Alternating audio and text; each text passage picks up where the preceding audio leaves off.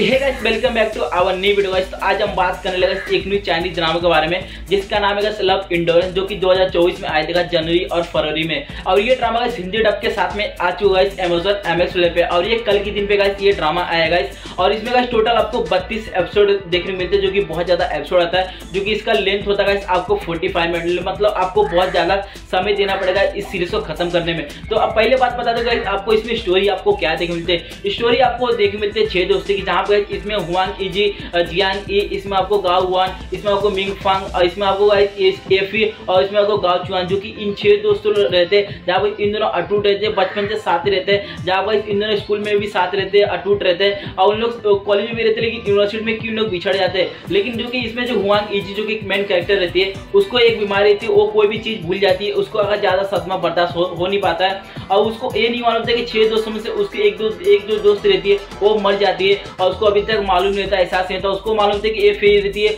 वो अभी तक ज़िंदा रहती है और उसको वहीं पे इसमें जो कि हुआंग इजी और जियांग इजी का लव स्टोरी आपको देख मिलता है, जहाँ पे हुआंग इजी बचपन से समय में मतलब कि जियांग को पसंद करती है, लेकिन वो बता नहीं पाती है। लेकिन जियांग जी भी पता मतलब कि पसंद कर देता है हुआंग इजी को, वो भी पता नहीं पाता है। वहीं पे जो कि जियांग ई रहता है, वो भी चले जाता है फॉरन पढ़ाई करने के लिए, उसको जो पेरेंट्स उधर ही चले जाते हैं। लेकिन जो कि हमारे जो हुआंग इजी रहती है, उसको रोक नहीं पाती है। और बहुत साल, आठ बारह साल के बाद वो फिर से वो चाइना आता है, जहाँ पर इन दोनों मिलते हैं जहाँ पर इन दोनों मिलने के बाद मतलब कि अंदर इन लोगों को फीलिंग रहता है, लेकिन बता नहीं पाते। तो क्या इन लोगों को फीलिंग जा गया और क्या इन दोनों को एक दूसरे को प्रपोज कर पाएँगे? वहीं पे कहते कि एक और आपको बहुत अच्छा खासा लव स्टोरी आपको देख मिलता है, जहाँ पे गाइस, ये भी मेन कैरेक्टर रहते हैं, जिसमें आपको जाय वन और इसमें आपको जो कि मिंग फांग रहते हैं, इन लोगों का लव स्टोरी तो और मज़ा आता है देखने में। और बहुत ज़्यादा मज़ा आएगा इस आपको इस सीरीज़ देखने में। मैंने ये ड्रामा बहुत अच्छी तरह से देखा है, बत्तीस एपिसोड मैंने विदाउट स्किप किया, थोड़ा स्किप किया होगा, इस नहीं तो खत्म नहीं कर पाता, क्योंकि बत्तीस पूरा रात देखा और अभी भी मैं देख के खत्म किया इसको इस ड्रामे को, तब जाकर मेरे को समझ में कि एग्जैक्टली इस ड्रामे आपको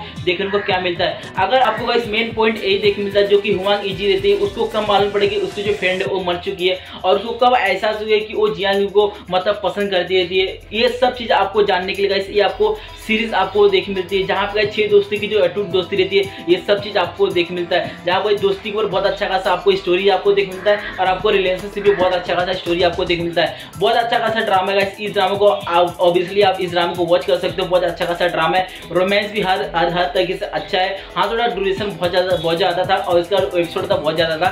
देखते देखते मतलब पक गया था एक समय पे, लेकिन जैसे स्टार्टिंग का एपिसोड आया, तब जाके इंटरेस्टिंग फैक्ट आना स्टार्ट हुआ तो बहुत ज़्यादा मज़ा आने लग गया। तो आप इस ड्रामा को वॉच कर सकते हो, बहुत अच्छा खासा ड्रामा है। आपको मैं अच्छा खासा स्टार्ट देना चाहूँगा, इसको मैं दस में से नौ स्टार देना चाहूँगा। आई होप सो गाइस आपको हमारा ये रिव्यू अच्छा लगा रिव्यू अच्छा था, वीडियो को लाइक कीजिए चैनल को सब्सक्राइब कीजिए। और हमें गाइस कमेंट कीजिएगा इसकी आपको क्या न्यूज़ में पसंद आया। कल के दिन पे एक न्यू ड्रामे के साथ में।